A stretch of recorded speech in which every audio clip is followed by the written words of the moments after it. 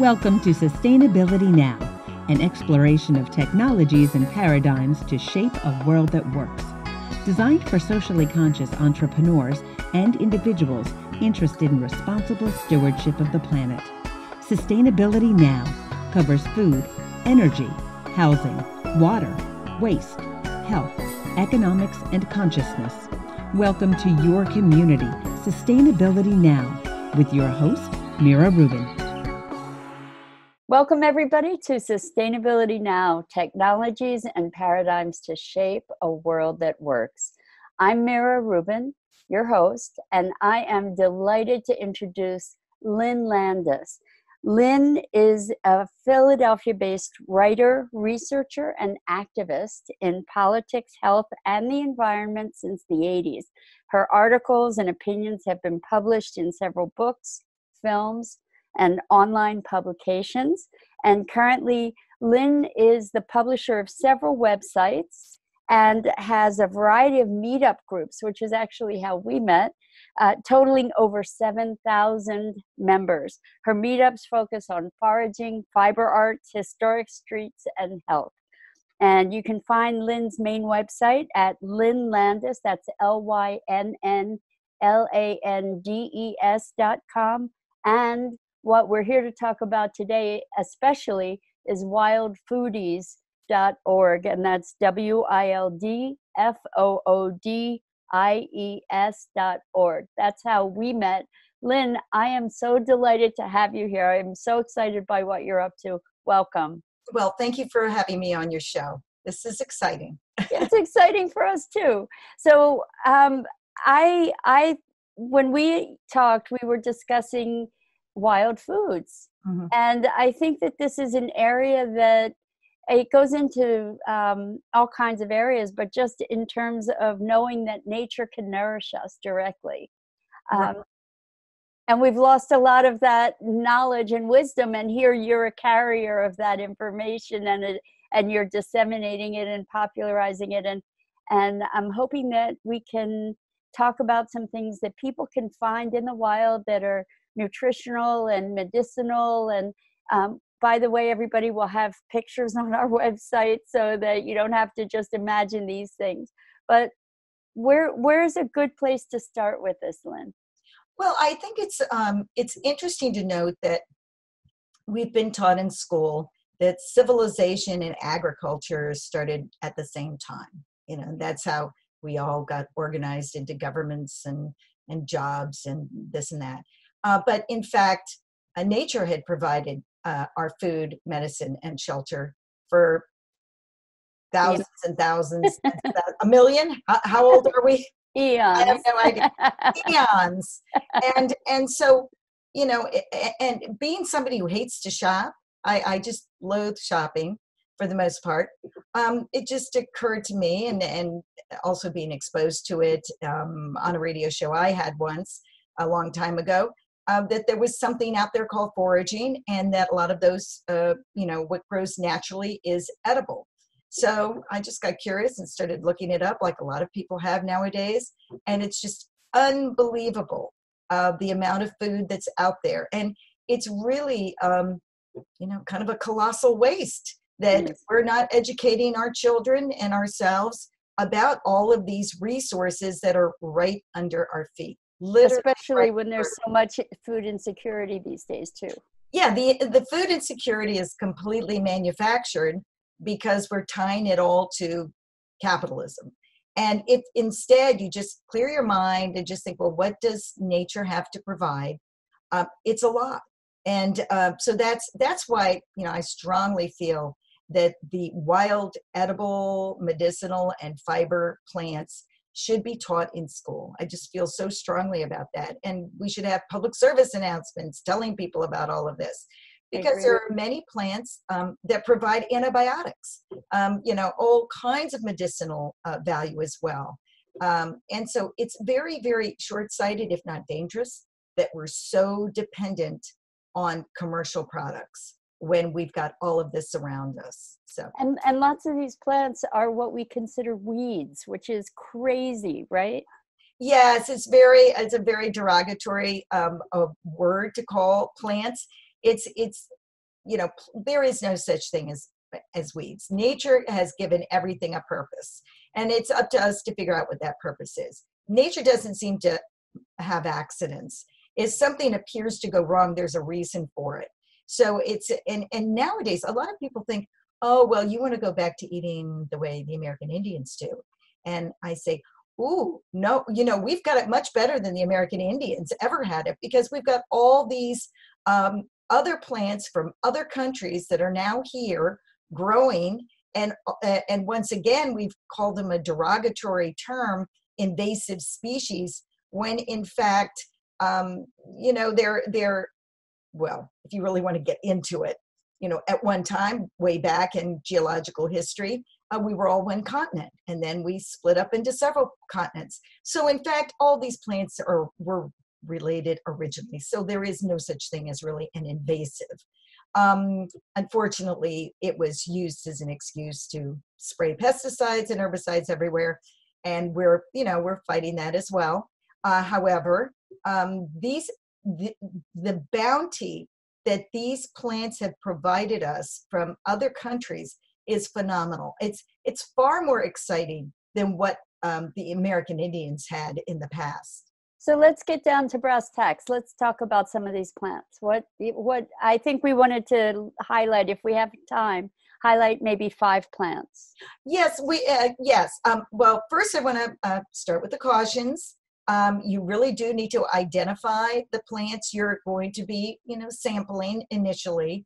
So you know it's it's know and go slow you know know and slow. Those are the two words you have to keep in mind.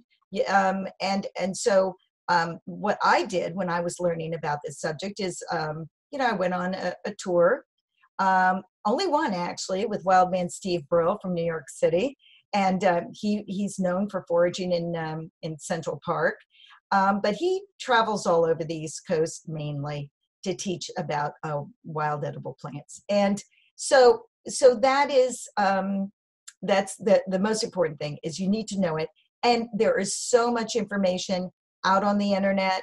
Uh, wildfoodies.org. We have a reference uh, resource website with all kinds of information. So I, I would like to go through um, that um, as well. Let me just do a few more of the cautions. Just give me one second. I want to let everybody know that we are going to have links to Lynn's website and resources and images of the plants that we discussed at sustainabilitynow.global instead of .com.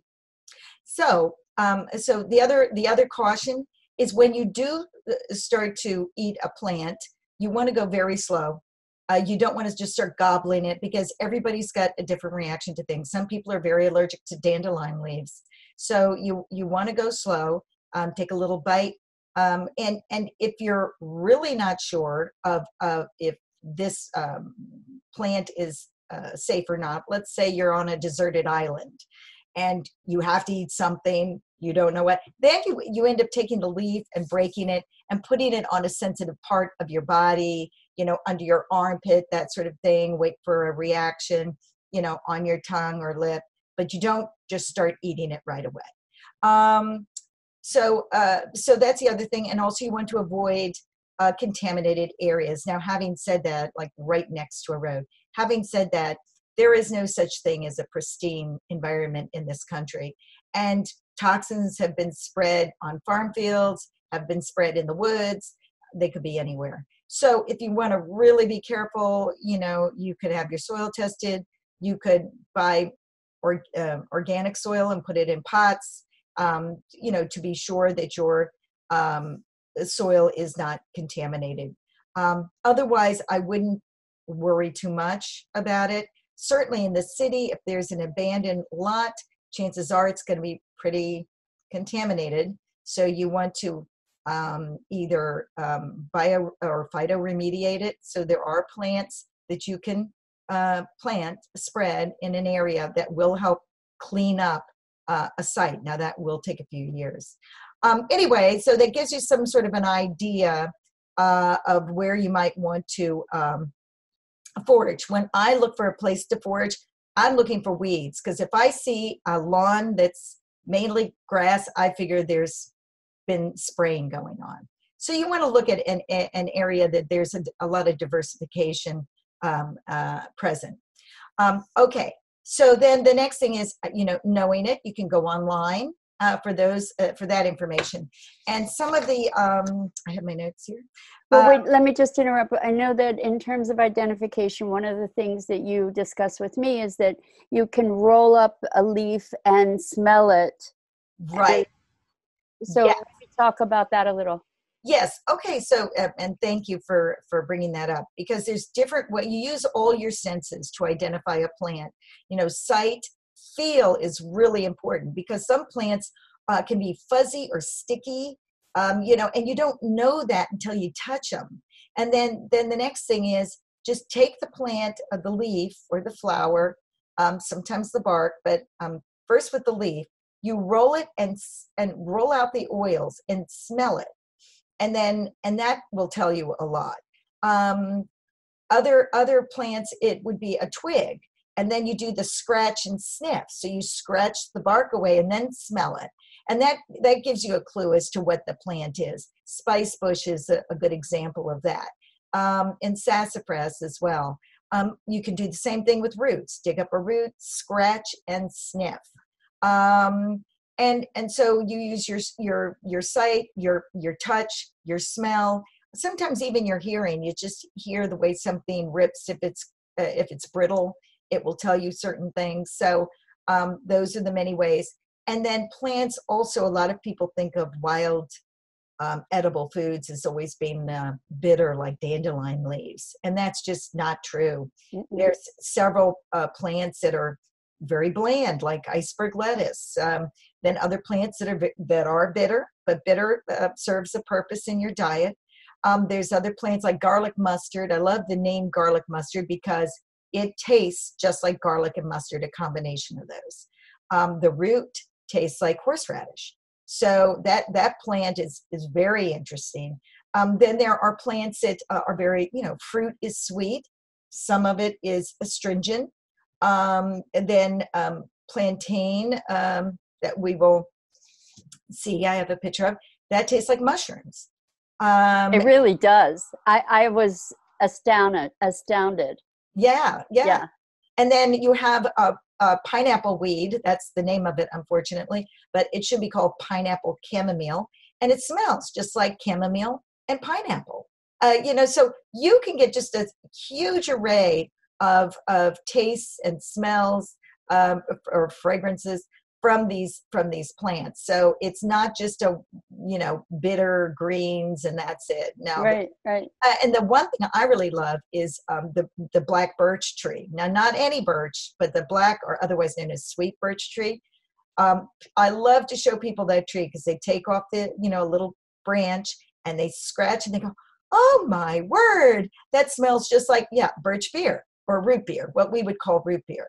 It smells just like that and it just people are so astonished uh, by all of that. Um, but you said uh, you have some pictures? Well i do it in just a second. I, I do want to um, I, I do have some pictures. Let me let's go to a few pictures. Um, now these are not all in the order of the season uh, but uh, one of my favorites uh, are is um, is just the mulberry tree and it's funny because mulberries grow like a weed. I hate to say use that term, but they do. And yet most people in in um, this now I'm trying to put that up. Let me just do it like that. And we we don't see that, so that's okay. Um, and a lot of people are going to be listening to this right.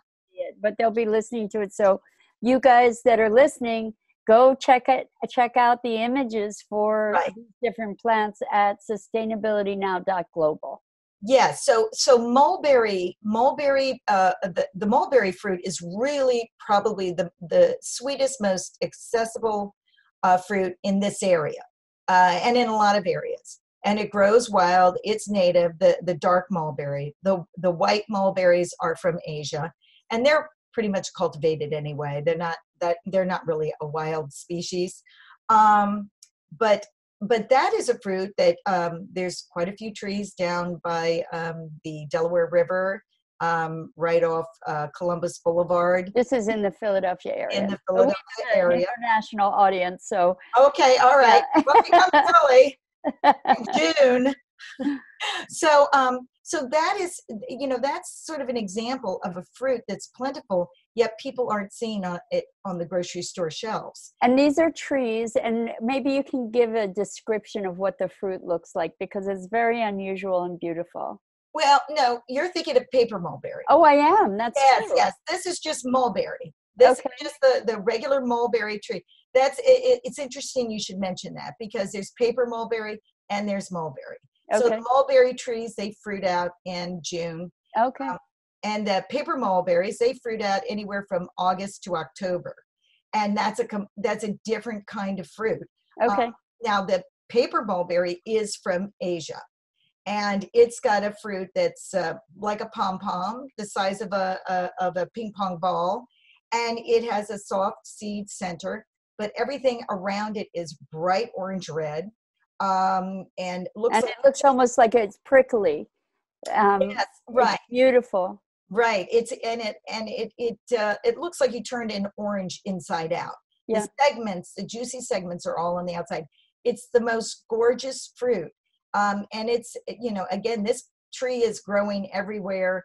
Um, there is a male and female situation, so only the females um, produce the fruit, um, and they're still fruiting now in in Philadelphia. So that's exciting. And then um, and then Can you can you describe the mulberry? So um, paper mulberry, it's a tree. Yeah, paper mulberry is a tree. It's called paper mulberry because you can also, um, you know, make paper and fiber out of it. Um, the regular mulberry is um, uh, is a tree as well. It's got smaller leaves. They're shiny.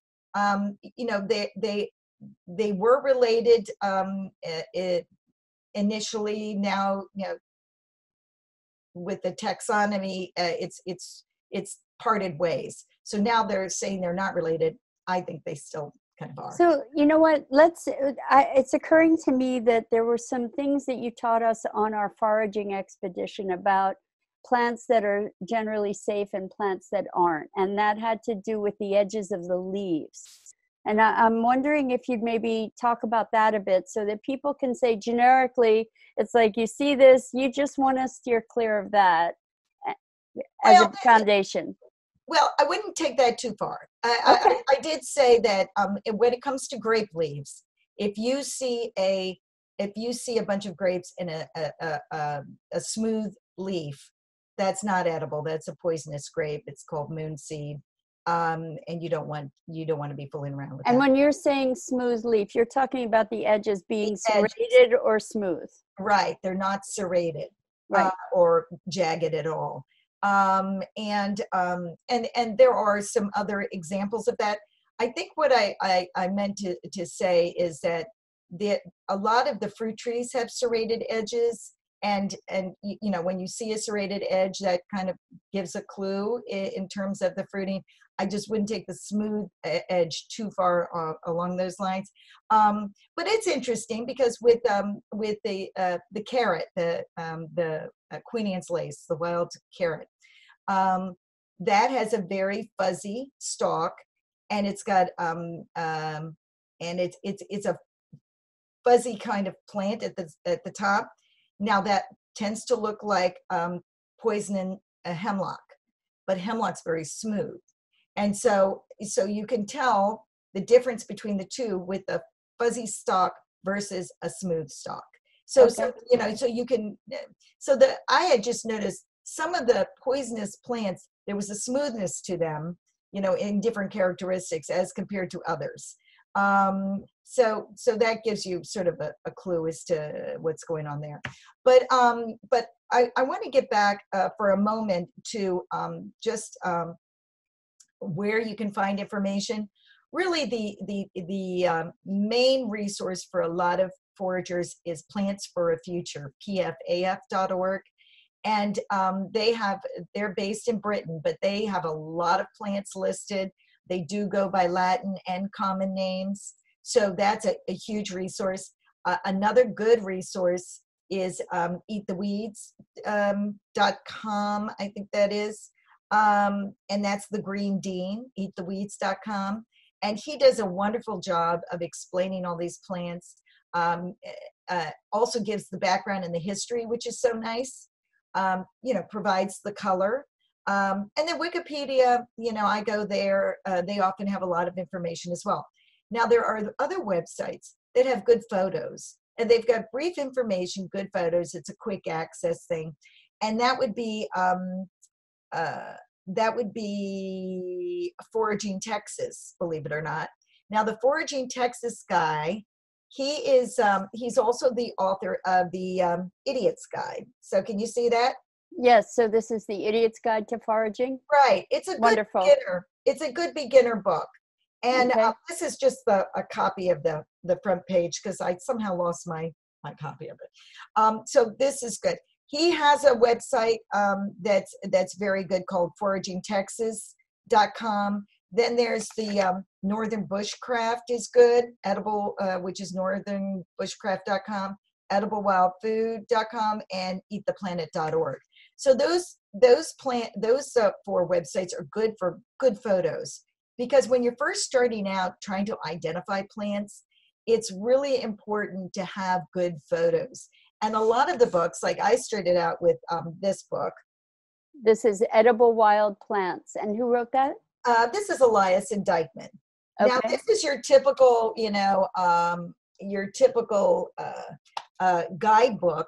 However, there are not enough pictures for the beginner, so that's why pictures are important. Um, and so that's that that that's a good guide. And then um, Leda Meredith's Northeast Foraging is another popular one Okay. and actually even you know uh, now this is this this is interesting because this is the complete guide to uh, edible wild plants by guess who the department of the army Oh my, how about that? yeah That's awesome. isn't it? That's wild. Yeah yeah I just want to remind everybody you're hearing this wonderful, amazing list of resources. Lynn, thank you so much for compiling these. Um, we're going to have them all listed on our website at sustainabilitynow.global. So you'll see that, you'll see the pictures there. This is amazing. So tell us more. well so then um so then the waterford um, press.com waterford press they do a lot of these guides let me just get it here So we have edible survival plants of the Rocky Mountains, of the eastern woodlands, and uh, edible wild plants, as well as medicinal plants. Right. Awesome. so and tha- actually that I, let me just interrupt because uh, you're giving us all these great resources are they talking about medicinal uses for these plants as well Um, it, a lot of these these um, it, it varies. It Okay. varies. But the All point is, if you want to put together your own guide, if you you know if if if you live in some other place, you can go to them and they'll custom make a guidebook for you. wow Yeah, so that's that's the interesting thing about Waterford is um, um, WaterfordPress.com is that, uh, and I've been thinking of doing this on my bucket list of things I need to do right before I die. it is to do something like this because the information isn't as complete as I would like to see it. Um, but they it, it does show you that there is this interest out there. People want to give uh, people uh, guide. Uh, this is great if you're camping and you go. You know they have this at the you know at an office or something. You know for the for the park uh, wherever you want to go camping so that it gives you a guide it, it, it, it makes you interested in what's going on in nature you know this is the thing i found with this whole field of interest is people are just so excited to learn about the nature around them yes it connects them with their Yeah. environment like nothing else does. To sit there during a class and just learn about botany and the parts of the plant and you know and all of that and and not know their uses is just to simply not connect the dots. yeah We need to connect the dots as a as a civilization. We need to know what how does this affect my daily life, you know. So i agree and i know that as we connect to nature we can have a greater appreciation for what we need to do to take care of our planet. Right it, it sparks curiosity. All of a sudden you start looking at a plant you're like wow what, what have you done for me today? You know? Yeah. Yeah. um, you know, uh, one of the um, things that the kids love to, uh, and I don't have a picture of it, but uh, that people, one of the first uh, plants we teach often is wood sorrel, and uh, people initially think it's clover, but the but the little um, the little leaflets are heart shaped, so it really looks like a shamrock. Okay. Um, and it's a little yellow flower, and it has um, a lemony tart taste Mm. love to chew on that. So it's a nice throat tonic. Um, it does have some medicinal properties. I mean, I don't think you should eat a, a mountain of it, but it's good to just eat. It's like a trail nibble. Um, and so when people get that lemony taste, they go, "Oh my gosh, you know, where did that come from?" And it's in most people's lawns. If they don't throw pesticides on them, you'll find wood sorrel everywhere. Very um, cool. Right. That's awesome. And I- there's- mm-hmm. I, I was so I just want you to talk about plantain too. But before before we do that, you were talking about resources, and I know there's some apps that are awesome for foraging as well. Yes. Right. Well, there are apps that that help out. Um, actually, I just got another, um, um, and I can't remember the name of it. So these apps are going to be coming online all the time. Yeah. I tend to use Picture This. It's called Picture This, um, and I also uh, also use Seek sometimes. S E E K. That's part of iNaturalist. Mhm. Um, so you know, I do use. It, does help. You cannot rely on it one hundred percent. And it's it's really for plant identification. It doesn't really, at least um, picture this doesn't really say that something is edible or not. Yeah, they, there are. Um, I don't know if you can add information on some of those uh, apps. You can add information. I, I did it once. Uh, Okay. really got into it like a, a Wikipedia kind of thing where you, well, used to be that you could add information. Uh, and so, you know, I think it's just it's a blossoming field, um, and it really helps. I think the beginner out in terms of you think you know what it is. It it, it can uh, confirm your suspicions. So Yeah. it's an aid, but you, you you know you can't completely rely on it. Yeah. You want to use caution. I'm such a you know I'm not a techie kind of person, so I it took me a few years to um, you know get into that technology, and now I'm like, oh, this is so cool. it is cool. It is cool. Yeah. So let's just circle back to plantain because this was such a fascination to me and Mm-hmm. it's everywhere. right. So here's a picture. Let's see if we can do this. And so that's plantain? That is plantain. Those those are the stalks going up, and this is broadleaf plantain. It- Okay. It, it often grows in a group like that. So let's describe it for the folks that are listening. Right. So plantain is also called um, ribwort because it's got these strong um, uh, uh, uh, sta- uh, seams in the back. Let's just put it that way um, of the leaf. And so ribwort is very interesting. There's two kinds.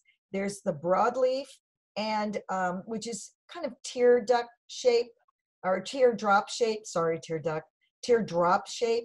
And um, then there's the uh, narrow leaf plantain, and that is more spear shaped. It's more of a long, narrow leaf. Both of them have these ribs in the back.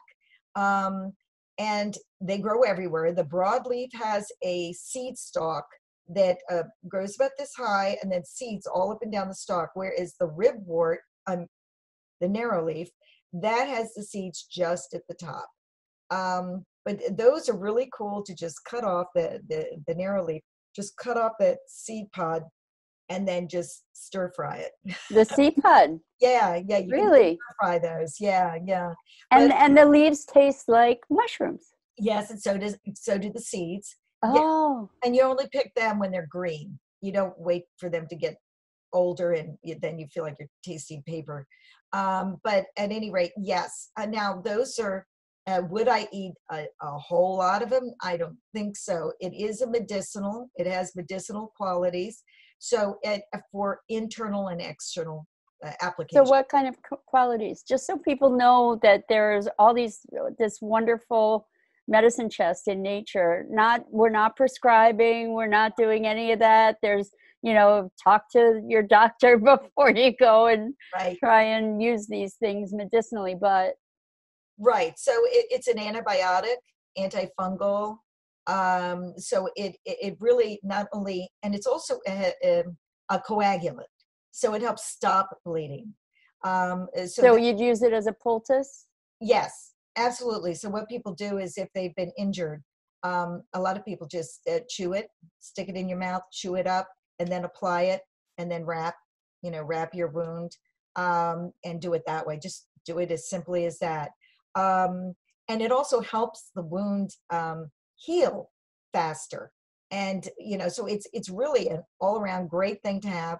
You can have some with you you know when you go on a, a hike or something just put some in your pocket um, you know i take it and it dries very beautifully and you just dry it and then you know crunch it up and put it in a uh, put it in a jar for year-round use um, and also you again you can use it on outside wounds any kind of outside wound burn sting anything hmm. um, but you can also use it internally um, so you know i personally found it helped with diverticulitis and hemorrhoids. Uh, but again, I would caution it, it does have a drying agent. You know, it's a coagulant, it dries, it absorbs. So, um, you know, occasionally I use different herbs in my bath. And I notice with plantain, you know, it does dry. So, you know, it, it draws and dries. So you, you want to not overdo it. I would not overdo it. Um, and then so that's a that's a big one it's everywhere um, and and again uh, multiple uh, uses um, another another uh, common plant is the wild violet that a lot of people you know are aware of and that's just your wild violet and that comes out in the spring. Um, that that leaf is very edible. It's it's just bland you know it's mild. Um, and you can add that. Now would you cook it or would you would you cook these things or eat them raw? Well i would eat that raw but you could cook it. Um, and going back to the plantain there if you're going to eat a leaf it should be very young because if it gets older it's going to be pretty tough to eat so that's the way with a lot of plants you know you go for the young the young leaves uh, rather than anything old and tough um, and so um, the wild violet um, now that, as opposed to the plantain, is a blood thinner. So that has um, vitamin C. A lot of your your greens have vitamin C. It has a lot of vitamin C, so it's very good. Again, we have to watch with this. Just like um, if you eat a lot of, let's say you eat a lot of blueberries and almonds and other things that are blood thinners, you might get nosebleeds. Um, mm. Same thing in the wild if you start eating a lot of blood thinners and you don't um, balance it off with blood thickeners, um, then if you find you're getting a nosebleed, you need to balance off your diet. Um, and uh, so, uh, so with wild violets, I would have some. You know, the other thing, the good thing about the wild violet leaf is you can actually um, stick something in that and wrap it in there and eat it. So you eat it as a, you know, it's a wrap. How big are the leaves? Well, the leaves are, you know, it varies. They can be this big. So that's about they two, can be this three big. inches. Yeah, it just depends on the on the plant. Mm-hmm. Um, a lot of the plants we see in, have been in the city, let's say, have been stepped on. They've been mowed. You know, they haven't had a chance to really develop. Mm-hmm. Plantain, when it's and, and the wild violet and other plants when they're really in um, you know their element and allowed to flourish they they can be quite large. Hmm. So it just depends on the situation. You know, uh, what about? I know that you can eat hostas. Yes, hostas. Now, you know, hosta is kind of our exception to the rule. Generally speaking, we go with just wild plants. Um, hosta is a wild plant in in Japan and Asian countries. Um, the kind of hostas we see here are almost all hybrids, uh, but they are all edible uh, everything but the root, I think. Um, so you've got the leaves that come out in the spring as a shoot, and it's all tightly wrapped. You can cut them off right then and there and eat them uh, raw could cook that. You can eat them raw or too. cook it or Okay. yeah you can do both. So um and then when they send up the stalk and the flowers that's all edible as well. Again you know you might like it better cooked than raw. You know some people again uh, might have a back taste to it that they're not wild about. Um you know but the leaf to me is pretty pretty safe. Now a lot of people will eat daylilies. That's something else that came from asia. Um and but a lot of us get a back taste to it that we're not that thrilled with so you might want to cook that you know so there's there's choices you need to make with with some of these foods I have to ask you about milkweed oh Yeah. because you know milkweed. I I understand you can eat the pods and the and and also cattails. I wanted to find out about that. well yeah you picked the two things i don't have that much experience Oh, that's okay. So pick something else. That's okay. well milkweed is is you know edible and um and it's called milkweed because it has a lot of latex in it natural latex um so people do cook it up and it's it's it's it's uh, popular among uh, chefs to do milkweed pods and actually even the um, uh, blossoms or the buds uh, When do the when do you harvest them? Do you know? Yeah I'm, I'm not really sure maybe around july not i'm not really sure about that but a lot of people kind of avoid milkweed because of the monarch butterfly. Yes. so they you know they they'd rather uh, it be left to that um, that. Now when it comes to the cattail that's interesting um, i had heard that the roots of the cattail were very uh, good so one day you know we saw some cattails growing near the road i just went out and i said i'm going to get myself one and i so i just broke one off and and took it home and cut off the bottom you know maybe about that much and it was delicious. It was um, it's it's a starch, and uh, it was very good. and and this was the stalk on. So The stalk, the bottom of cat- the stalk, Okay. but also the roots are uh, also have starch in them. So Okay. cattails and reed grass or phragmite, uh, both have a lot of starch in those roots. And the reason they're not used more for foraging, you know, for eating, is because in their natural environments, they are the water is basically contaminated. So they're remediating the water. Yes, they are helping to clean the water, but you want to eat the roots. I only did it because I wanted to check the taste, you know. Gotcha. But you would really need to have a situation where you know that that water's clean before you really get into eating a lot of those those roots. Uh, Sure. But I think it's an untapped resource, to be honest. Yeah. Yeah, I mean those things again grow very fast and uh, robustly, and you know that's that's the interesting thing between wild food enthusiasts and people who are more you know your garden club variety person is that they want a plant that's gonna fit into the landscape like a vase in their front room.